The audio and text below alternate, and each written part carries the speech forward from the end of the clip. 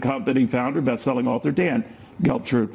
Um, let's get a sense, Dan, where you think the markets are standing on this. They're betwixt and between. They run up a little bit, then they run down, but it's pretty volatile. How do you play it? It is, and it's pretty hard to figure out. I actually think, I know you hate to give him credit, but Charlie Gasparino uh, made a good point before, and he said that he thinks... I give Charlie credit. Oh, okay. You think I go against the Italians? yeah, that shouldn't be. That's my point.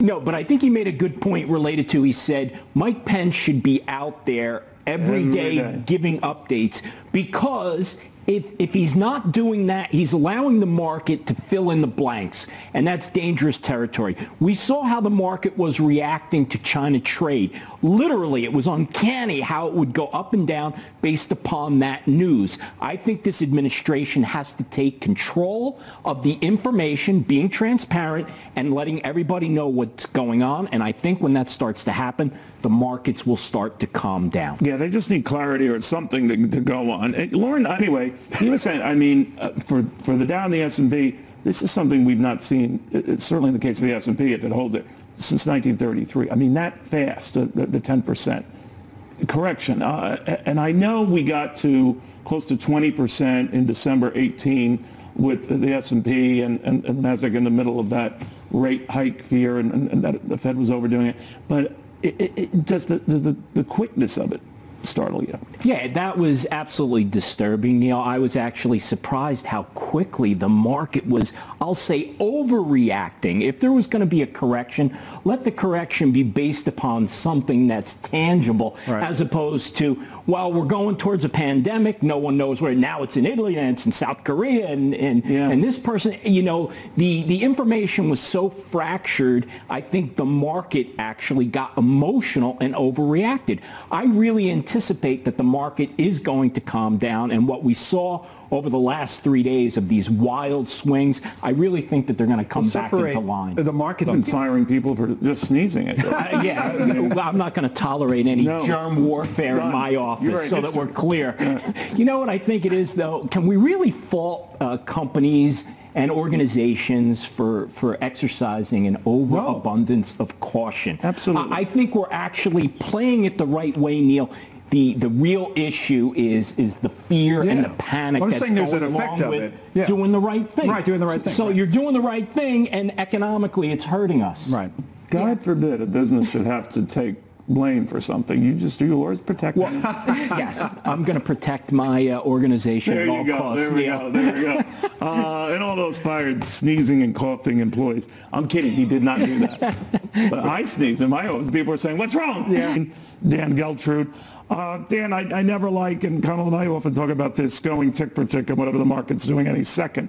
But they do cling to whatever the latest news is on this virus. It's fascinating. Better it is, stocks bid up. Worse it is, stocks go down. That, that we've not broken that. No, we haven't. And we're going to have to see what the stream of information coming forward is going to be. And that's really going to dictate how the market reacts. But as, as we've been saying, the most important aspect here is that there is transparency through all of this. I think the market is okay with bad news as long as they're not surprised by the bad news. Yeah. That's really the issue. Look, we already know that this is a potential pandemic. The market understands that, but they want to know what's happening. They don't want to hear all of a sudden that, you know, there's 10,000 cases in Europe out of nowhere and no one saw it coming. That's really what will upset the market. And I think we're getting to the point where everyone realizes that based upon what's happened in the last three days, that we need to have continuous information flowing from the administration. Yeah. I would actually not say something no, like that. No, you would not. But, but look, I think, I think that the White House has to be concerned about the virus for obvious reasons for, for the health and benefit of the American people. But listen, there are political consequences yeah, to be paid if the market goes down because he's always been cheering about the market and now he's got to deal with what's happening well, on the other. In other words, taking executive powers to get ahead of a crisis What do you think? Yeah, I think that's a good move by, uh, for the president to do. One, it's going to benefit him politically in terms of taking charge and doing the right things, taking control of the situation.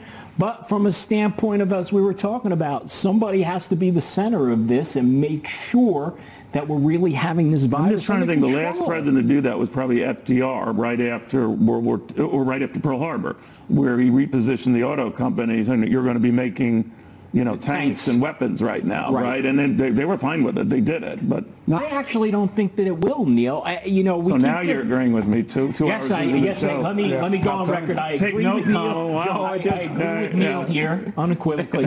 uh, no, I, I don't, look, if we look at what's going on in Europe and some other countries around the world that are struggling economically, they have negative interest rates. Right. So that is not the answer to every problem. We're so low right now. Incredible. I don't think it, I don't think it's the time to have to go to that. I know President Trump is already on that issue in terms of the Fed's got to come down.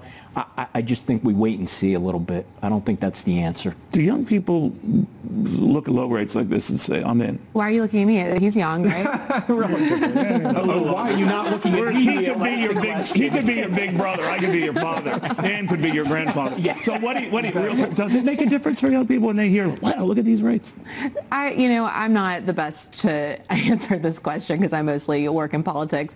Um, but- Wow, someone's being cautious. Oh, look at the time. Yeah, look at that. No, you were great. I didn't want to put you on the spot, but Gramps would have been tougher.